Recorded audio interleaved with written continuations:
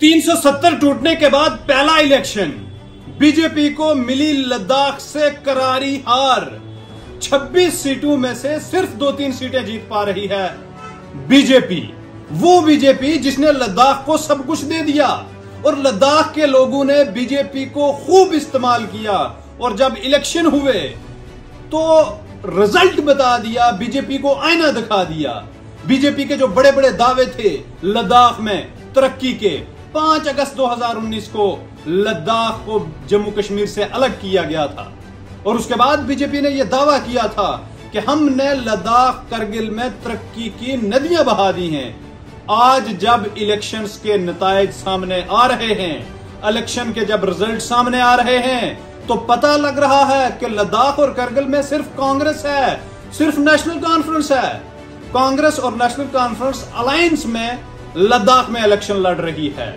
और बीजेपी की वहाँ पर जमानतें जब्त हो गई हैं।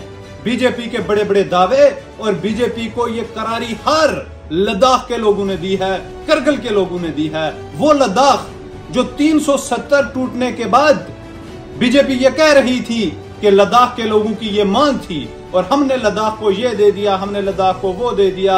आज पता चला है आपको लद्दाख ने क्या दिया है? लद्दाख के लोगों ने आपको रिजेक्ट कर दिया है। लद्दाख ने लोगों को, लद्दाख के लोगों ने कांग्रेस और नेशनल कॉन्फ्रेंस को एक्सेप्ट किया है।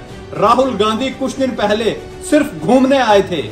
पूरी बाइक राइड की लद्दाख की खूबसूरत रोड्स पर। और आज लद्दाख के लोगों ने नेशनल कॉन्फ्रेंस को और कांग्रेस के जो अलायंस कैंडिडेट्स थे, उनको जताकर यह साबित कर दिया कि 370 जो तोड़ा गया, वो भी गलत था, और जो बीजेपी के वादे थे झूठे, वो भी झूठे थे।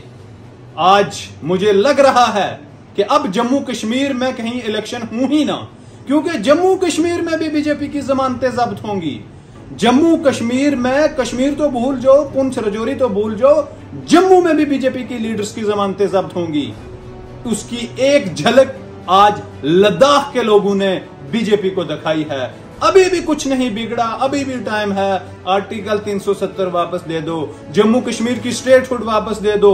ये जम्मू कश्मीर के लोग जो परेशान हैं, जो चार साल से इंतज़ार कर रहे हैं कि कब इलेक्शन हूँ, और हम वोट डालें। लद्दाख के लोगों ने आपको जवाब दे दिया।